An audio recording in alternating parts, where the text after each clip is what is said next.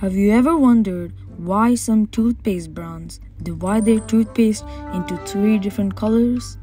Well, what if I told you that it was just a marketing trick?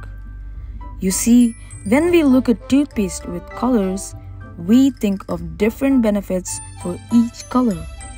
Even the packaging claims that it has different benefits. But the truth is that it makes no difference from the normal one.